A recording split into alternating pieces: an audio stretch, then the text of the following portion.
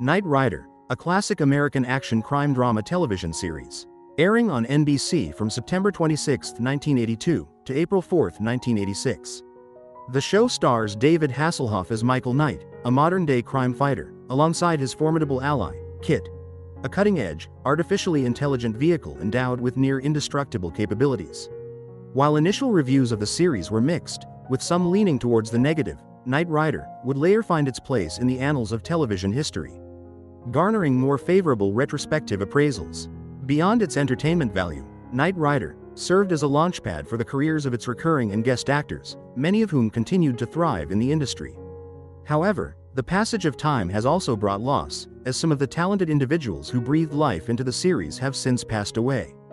Today, as we reflect on their contributions, we mourn the departure of these gifted actors, whose impact on the world of entertainment remains indelible. Edward Mulhare Edward Mulhare, known for his portrayal of Devon Miles in the series, Knight Rider, embodied the role of the sophisticated and esteemed director of the Foundation for Law and Government, FLAG, the organization that supported Michael Knight and his advanced car, KIT, in their crime-fighting endeavors. Serving as both mentor and paternal figure to Michael Knight, played by David Hasselhoff, Mulhare's Miles offered guidance, resources, and unwavering support as they embarked on missions to combat crime and champion justice. With his British charm and sharp intellect, Miles provided a strategic edge, complementing Knight's adventurous spirit. Known for his integrity and loyalty, Miles wasn't just a leader but also a trusted friend to both Knight and Kit, offering sage advice and encouragement when needed. Beyond, Knight Rider, Mulhare guest starred in Experiment in Terra, an episode of the original Battlestar Galactica, and appeared in several films including Megaforce and Out to Sea. His final role was in Baywatch Nights. Mulhare, a heavy smoker, succumbed to lung cancer on May 24, 1997, at the age of 74, at his residence in Van Nuys, California. Lance Legault Vernon Gray in The Knight Rider brought to life the character of a recurring antagonist who consistently posed challenges to Michael Knight, played by David Hasselhoff, and the high-tech car, Knight Industries 2000, Kit. As a skilled and cunning criminal, Vernon Gray utilized his intellect and resources to outmaneuver the protagonists in various schemes and heists. Establishing himself as a formidable adversary, Legault's performance infused the character with a powerful presence and ruthless demeanor, adding tension and excitement to the series and keeping audiences engaged with each confrontation. Despite his villainous nature, Vernon Gray left a lasting impression as a memorable and pivotal character in the Knight Rider universe, showcasing Legault's talent for portraying complex villains on screen.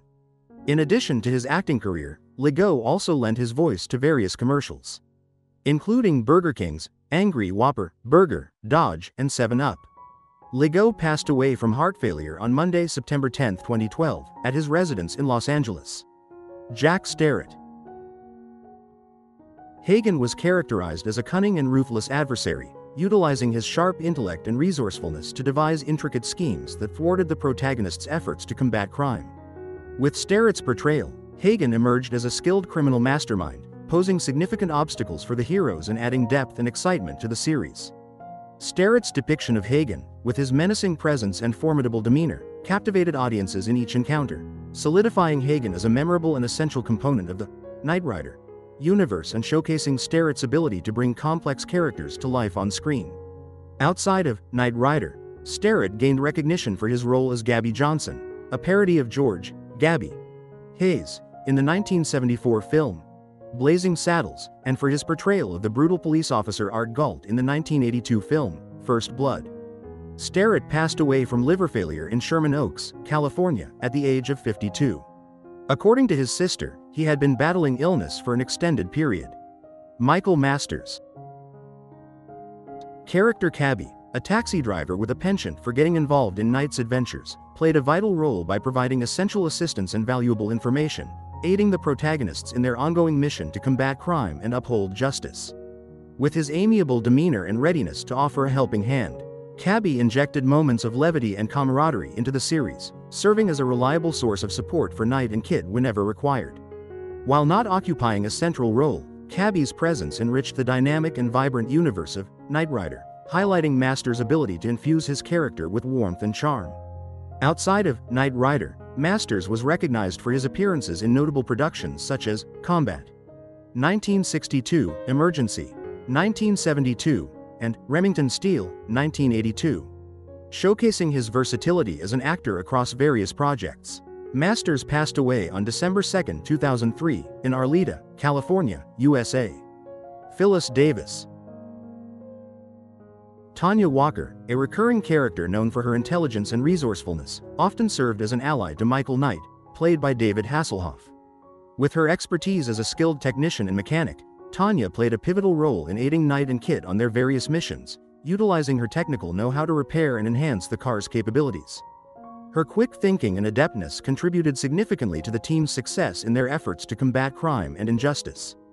Despite not being a central figure, Tanya's presence added depth and diversity to the Knight Rider universe, highlighting Davis's talent for portraying capable and multifaceted characters on screen. Beyond Knight Rider, Davis also starred in the dramatic detective series, Vegas, from 1978 to 1981, portraying Beatrice Travis, the office manager and Friday girl to the show's main character. Additionally, she made a guest appearance in Magnum, Pi. Davis chose to keep her battle with cancer private, and she passed away on September 27, 2013, at the age of 73.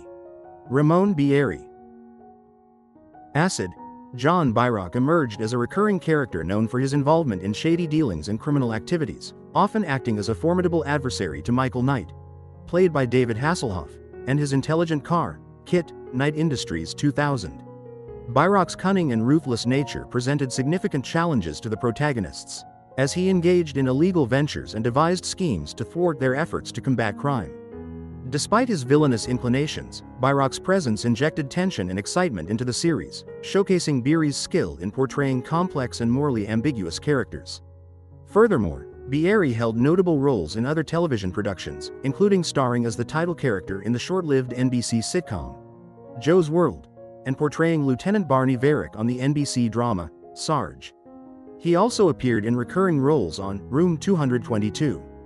Bieri's life was cut short by cancer, and he passed away in Woodland Hills, Los Angeles, California, on May 27, 2001, at the age of 71.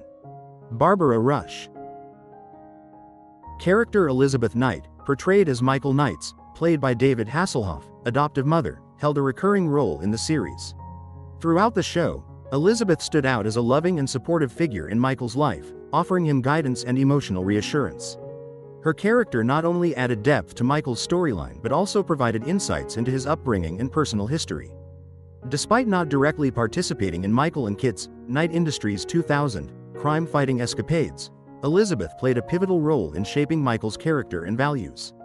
Moreover, Rush enjoyed a prolific career in television, becoming a regular performer on the series, Peyton Place, and appearing in various television movies, miniseries, and soap operas like All My Children and the family drama Seventh Heaven. In addition to her television work, Rush starred in several films, including The Young Philadelphians, The Young Lions, Robin and the Seven Hoods, and Hombre. Unfortunately, Rush passed away due to dementia at a care home in Westlake Village, California, on March 31, 2024, at the age of 97. James T. Callahan, James Callahan. Character Jeff Barnes served as the mechanic and technician at the Knight Industries semi-truck headquarters. With his expertise as a skilled mechanic, Barnes played a crucial role in ensuring KITT was always in top condition for action. Handling maintenance and upgrades with precision, his character injected a practical and grounded element into the series, offering technical support and expertise to Michael and KITT during their crime-fighting missions. Despite not directly engaging in the thrilling adventures, Barnes' contributions were indispensable to the team's success, highlighting Callahan's talent for portraying reliable and steadfast characters on screen. Moreover, Callahan's acting career spanned over five decades. He notably portrayed Walter Powell in the syndicated sitcom, Charles in Charge, starring alongside Scott Baio, a role that contributed to his recognition among audiences. Callahan faced health challenges when he was diagnosed with esophageal cancer. Six months later, on August 3, 2007, Callahan passed away at his residence in Fallbrook, California, at the age of 76. Joe LeDoux Hannigan was a recurring figure recognized for his portrayal of a tough and uncompromising police officer who frequently encountered Michael Knight. As a law enforcement professional, Hannigan exuded a strong sense of authority and commitment to justice, though he often questioned Knight's methods and the capabilities of Kit. Despite occasional clashes, Hannigan shared the common goal of combating crime and preserving order. Ledoux's depiction of Hannigan injected the series with tension and conflict, demonstrating his skill in bringing realistic and gritty characters to the screen. Outside of his role in Knight Rider, Ledoux was known for his work as an actor and film producer. With credits including Song of Silver, 1995, 11 Robbers of the Century, 2001, and Indecent Proposal, 1993. Tragically, Ledoux's life was affected by Alzheimer's disease, and he passed away on May 26, 2014, in Las Vegas, Nevada, United States, at the age of 70. Zakes Mokae Zakes Mokae took on the role of Sohn Kuna, a skilled and cunning criminal mastermind. Possessing a sharp intellect and strategic prowess, Kuna presented formidable challenges to the protagonists, involving himself in various illicit activities and schemes to further his objectives. Despite his villainous inclinations, Kuna's character brought depth and intrigue to the series, underscoring Mokae's talent in depicting multifaceted and compelling antagonists on screen. Moreover, Mokae earned a nomination for his second Tony Award in 1993 for his performance in Tug Yourgrau's play, The Song of Jacob Zulu. Beyond acting, Mokae ventured into theater direction, collaborating with American companies such as the Nevada Shakespeare Company. Tragically, Mokae's life was cut short by complications from a stroke. And he passed away on September 11, 2009, in Las Vegas, at the age of 75. John Crawford. Mac Thomas, a recurring figure, was recognized for his portrayal of a seasoned and experienced police officer as a law enforcement professional. Thomas exuded a sense of authority and unwavering dedication to his duties, joining forces with Knight to address various criminal cases and uphold order. His presence on the show contributed to its realism and authenticity, showcasing Crawford's skill in embodying dependable and trustworthy characters on screen.